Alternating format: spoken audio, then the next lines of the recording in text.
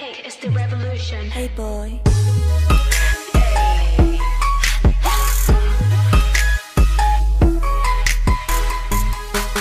Blackpink in your area. So, so, so.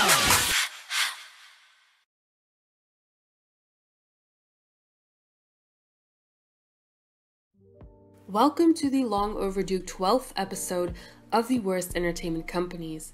Through this series, I try and shed a light on the poor management and mistreatment idols are subjected to by their companies.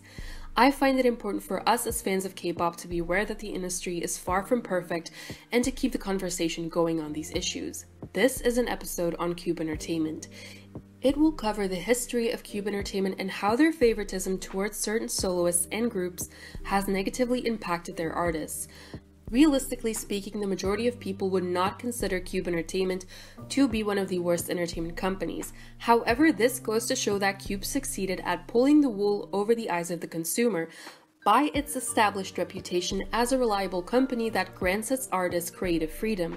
And while Cube does allow their idols to self produce and self compose, they also have a tendency to sabotage and replace the groups that they believe aren't profitable enough. Yet, not many people have spoken about how poorly Cube Entertainment manages their artists.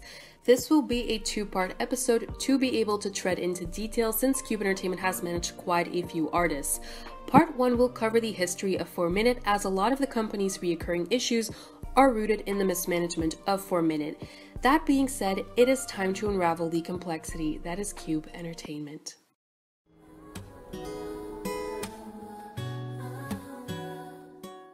Cube Entertainment, originally Playcube Inc., was founded on August 29th of 2006 by former JYP president Hong Sang-sung. Sung was clever enough to utilize his connections to JYP Entertainment to recruit the young and promising artist Hyuna, who had just left the agency. And it's needless to say that Hyuna would draw a lot of attention to Cube Entertainment. In the first half of 2009, Cube Entertainment announced their plans of debuting a five member girl group that would go by the name of 4 Minute. The first member that would be announced was, of course, ex Wonder Girls member Kim Hyuna.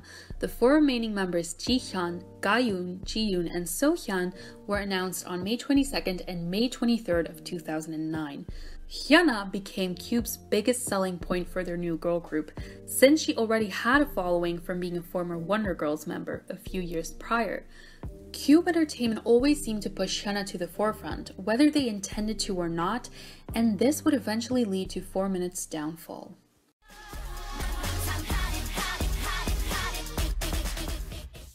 4 Minute made their debut with their single titled Hot Issue on June 15th of 2009, followed by their debut performance on M Countdown on June 18th. 4 Minute had a successful debut with Hot Issue, peaking at number 2 on the charts. In August of that year, 4 Minute returned with their title track Music off their first mini album 4 Music, which they received an Inkigayo Mutizen Award for. Unfortunately, 4 Minute's girl crush image wasn't appreciated by everyone as KBS banned the song Won't Give You from being played on the radio as they found it to be too racy. After having barely established their name in South Korea, Cube Entertainment decided to aim high for 4 Minute. In 2010, they partnered with Universal Music Group to help the girl group make their international debut. This led to the group touring around Asia and releasing a Japanese version of Music on May 5th of 2010. But the response to 4 Minutes international ventures wasn't what Cube had anticipated as Music peaked at number 21 on the Oricon Weekly chart.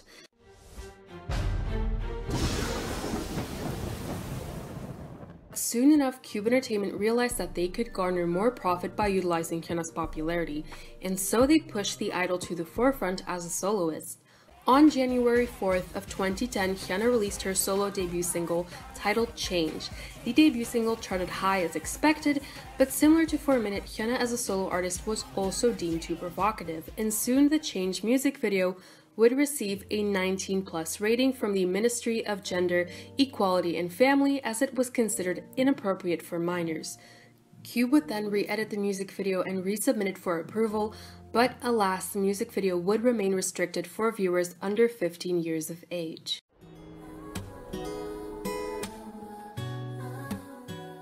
In May of that year, 4 Minute returned with Hit Your Heart, their second mini album, for which they promoted the title track of the same name, as well as the song Who's Next that featured Beast, who were also signed with Cube at the time.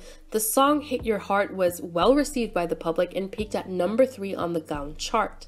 In January of 2011, 4 Minute received a Bonsang Award at the 21st Seoul Music Awards and the K-pop New Artist Award at the Billboard Japan Music Awards.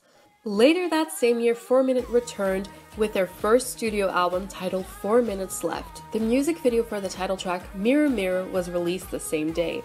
Both the album and its title track peaked at number 2 on the Gaon chart. With their past releases all charting fairly high, it indicated that the popularity of the group was on a steady rise.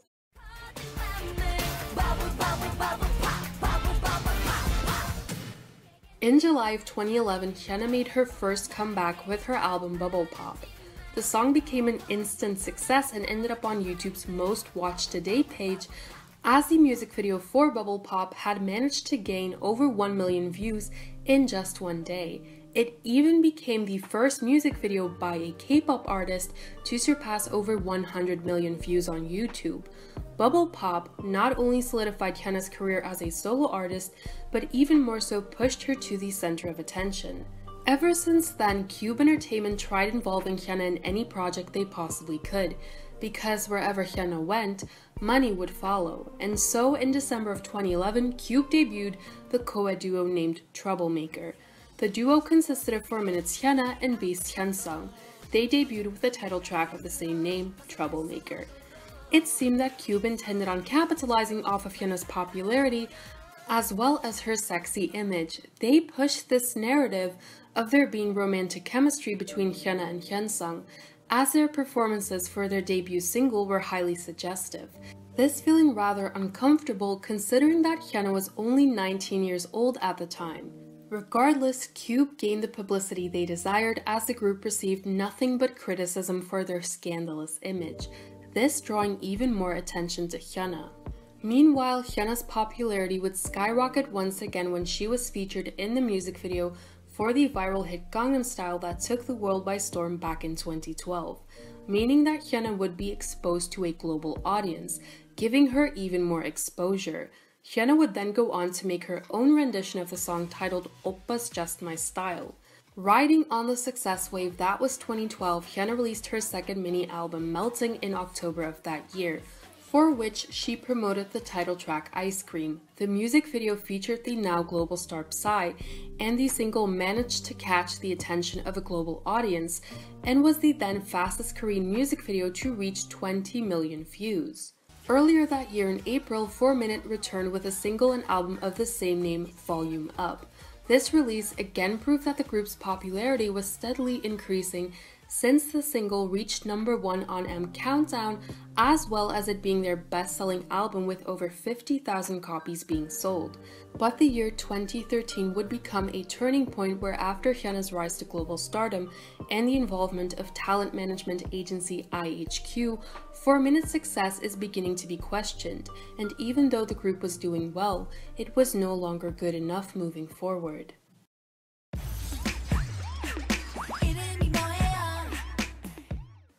In 2013, the subunit 2yoon made its debut. The duo consisted of 4 Minute members Gayoon and Jiyoon. Both members held their own, becoming the first Korean girl group to be interviewed by Time magazine. Their song 24 7, however, received mixed reviews from the public, with some criticizing it for trying to incorporate elements of country music into K pop, going as far as calling it an experimental failure.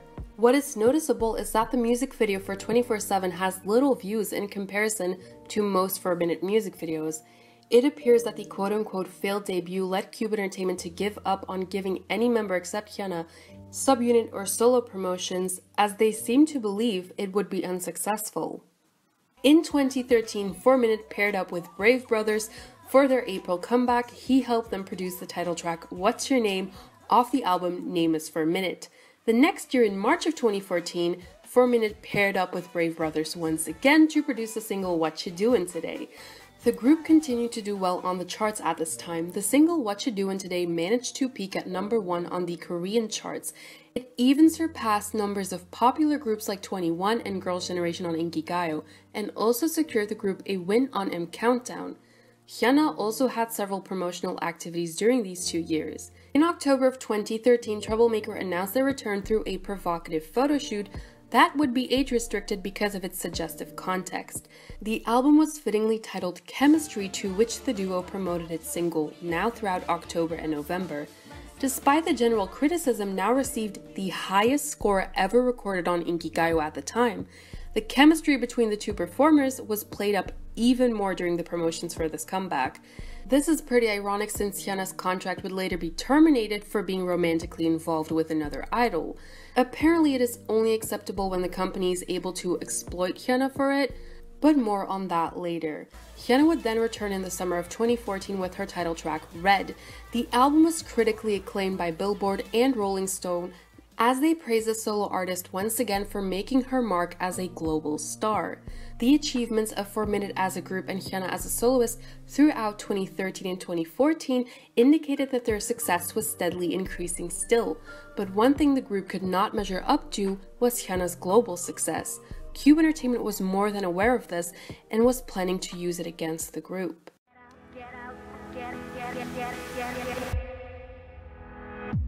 On February 9th of 2015, 4 Minute changed K-pop forever when they released their legendary hit Crazy.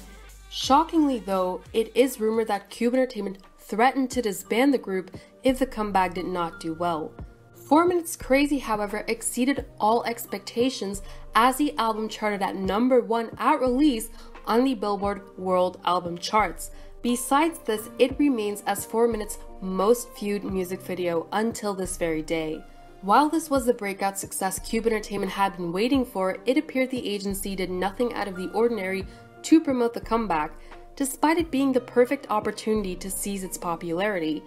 It would have been the ideal time to introduce the group to a global market, as well as scheduling promotional activities for the individual members but none of that happened. It felt as if by the time 4 Minute had found the international success the entertainment was so desperately longing for, they had already given up on the group. Later that year, Hyuna released her fourth mini album for which she promoted the title track Roll Deep featuring Il-hoon of BTOB. The comeback would even go on to earn her the award for Best Solo Dance Performance at the Mnet Asian Music Awards in December of 2015. In January of 2016, the group would make what would become their final comeback. Hate, for which the group collaborated with the producer Skrillex. Hate followed in Crazy's footsteps in terms of success. The title track managed to secure the group seven music show wins. 4 Minute was at the peak of their career, and their musical identity was fully formed, making them a strong contender in the K pop industry. But Cube Entertainment's priority no longer lied with 4 Minute as a group.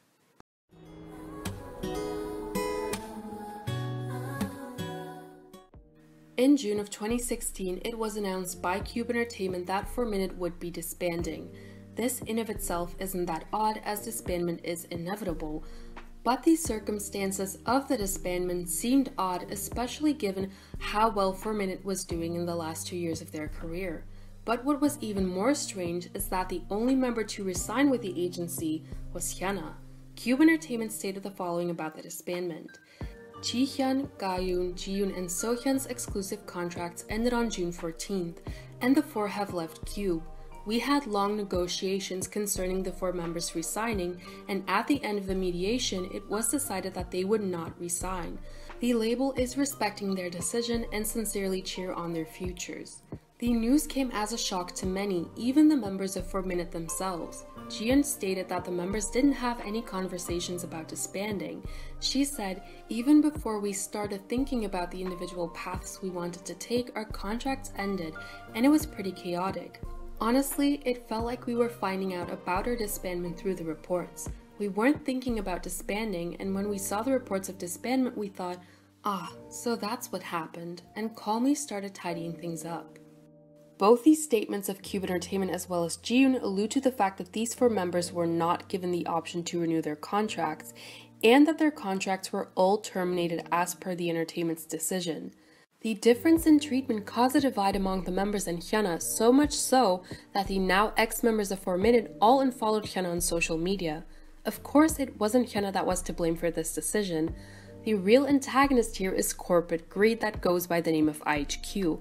IHQ is a talent management agency that played a vital role in 4 Minute's disbandment. In 2013, IHQ bought out 50% of Cube Entertainment.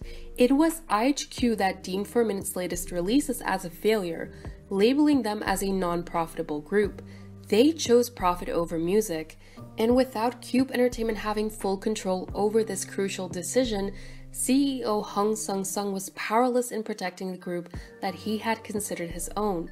Hyuna, being the most profitable artist according to IHQ, was given the opportunity to resign with the company, while the four remaining members were let go of without having had any say in their future. And so, 4 Minute met their untimely demise.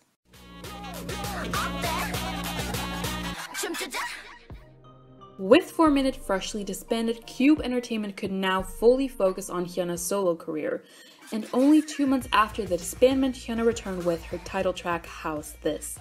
During a press conference to promote the comeback, Hyuna was asked about 4 Minute's disbandment. In this clip, Hyuna is visibly upset by the narrative of her that's been created by the public after the news of the disbandment broke, almost as if it's being insinuated that she's happy to promote solo, when she really had no control over Cube's decision. Hyuna had to bear the consequences of Cube Entertainment's actions. She states in this clip that she's worried about the remaining members because they didn't get the chance to speak on the disbandment or their relationship with Hyuna since they're no longer in the public eye. And she continues on by saying that she has mixed emotions about speaking on the disbandment while promoting her comeback because it gives the impression that she purposefully came back right after the disbandment just to talk about her former members. Hyuna even went as far as saying that she hated herself for becoming the person that the public made her out to be. It is upsetting to see Hyuna this way, even more so that Cube put her in this position. Hyuna, being the only member to resign with the company, put a target on her back. It gave angry fans someone to point their finger at. Hyuna, being the face of 4 Minute, was the one to take the fall for Cube's ruthless actions. What is even worse is that Cube did very little, if anything at all, to protect their artist from the scrutiny she was under, allowing it to affect her mental health.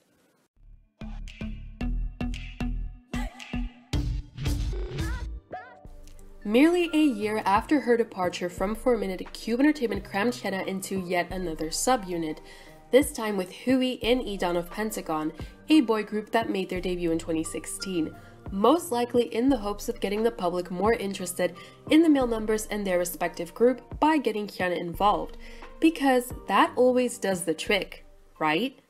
They debuted under the name Triple H, introducing themselves to the world on May 1st, 2017, with the title track 365 Fresh.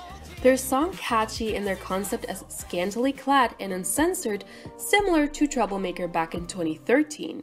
In August of 2017, Hyuna released her sixth mini album, for which she promoted the title track Babe. It is easy to see Hyuna's inspiration behind the song, considering the upcoming events. And later that year, Hyuna would go on to release the undeniably iconic hit that is known as Lip and Hip. She's got a point. She's an icon. She's a legend. And she is the moment. Now, come on now. This would also become Hyuna's final solo release under Cube Entertainment. In 2018, Triple H returned with their second mini album, Retro Futurism, promoting its title track, Retro Future.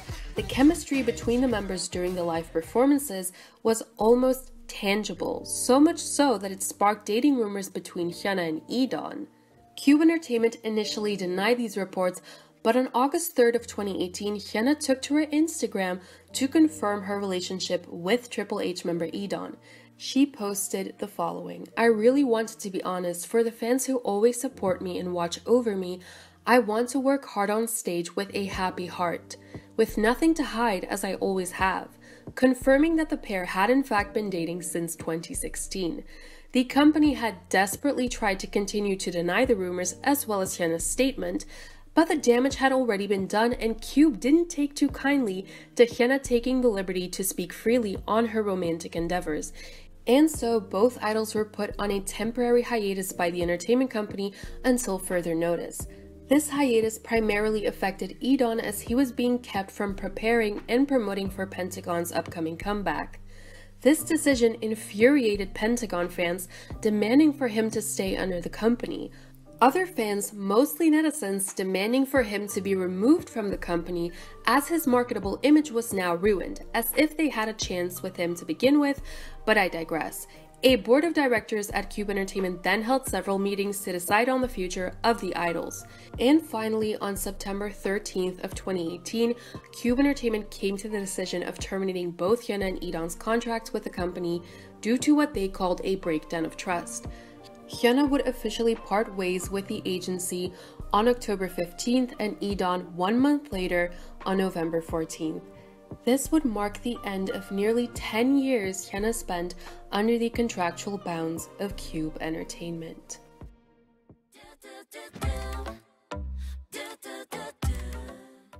In the videos posted on her social media right after her departure, it seems that Hyuna is enjoying her newly found freedom alongside her boyfriend E'Dawn. Some might even theorize that the idol made her relationship public as a way to get out from under Cube Entertainment's contract, but I'll leave that up to you. Nonetheless, Hyuna now walked free with the knowledge that she could continue her career elsewhere as any entertainment agency would be eager to sign her under their label. Finally, in January of 2019, Hyuna, as well as E'Dawn, started anew signing with Psy's label P Nation, which would ultimately mark the end of an era for Cube Entertainment and a rebirth for Hyuna's career.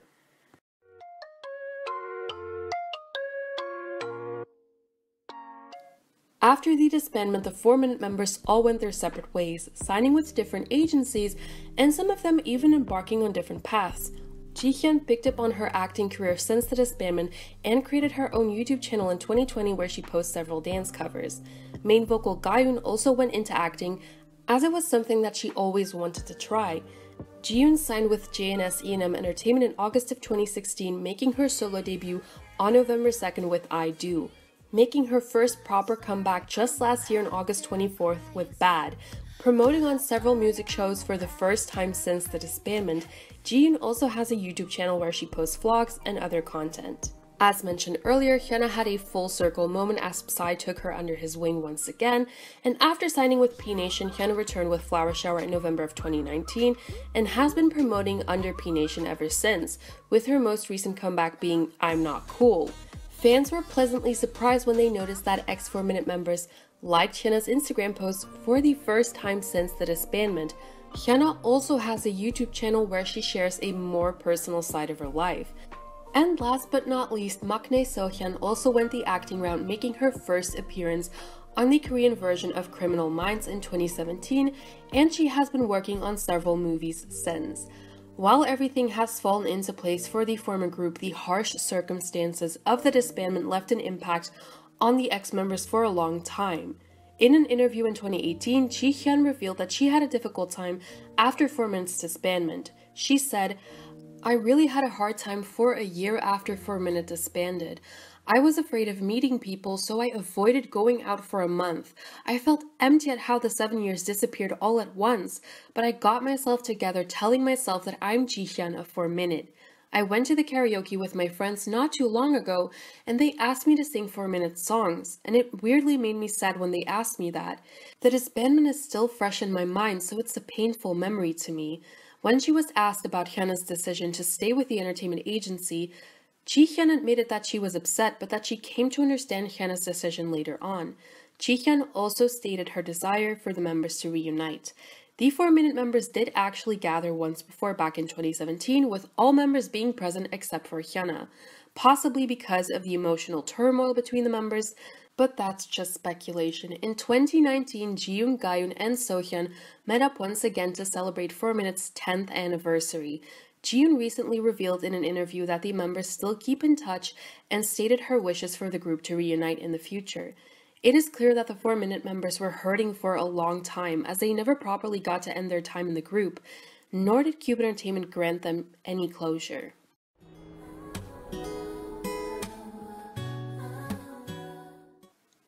Four Minute was set up for failure from the moment IHQ viewed them as Hyuna's competitor. While Four Minute collectively was a strong contender in the highly competitive K-pop industry, they could not compete with Hyuna's individual and international popularity. This in turn made them look like a failed project in comparison to Hyuna as a soloist, which was never a fair comparison to begin with, taking into account that Hyuna already had a pre existing fan base and the fact that she coincidentally got exposed to a global audience, and by the time For a Minute did attract the attention from the international public, the company had already shifted their focus. IHQ had their eyes set on Hyuna, favoring her career over 4 Minutes because Hyuna was the more profitable investment. This, unfortunately, is how the industry works, but there is no denying that the way IHQ went about 4 Minutes' disbandment was morally corrupt. Seven years of hard work, shared experiences, and achievements were taken from under Ji Hyun, Gayoon Jiyoon, and So Hyun, with the excuse of not being profitable enough, and Cube Entertainment was a bystander in this. Cube Entertainment has a tendency to replace their artists with new ones, leaving the old ones out to dry. Their blatant favoritism that is endorsed by IHQ is what is setting their own artists up for failure, which is why they're one of the worst entertainment companies. I will delve further into how this manifests itself in part 2 of this episode. I will also discuss Cube Entertainment's issues with Beast, the negligence of CLC, the favoritism of Idol, and the future of Lightsum, among other topics. That concludes part one of this episode. I tried my best to research this topic to the best of my ability. But please be so kind to correct me if any of the information I presented was incorrect or if I missed any parts of crucial information.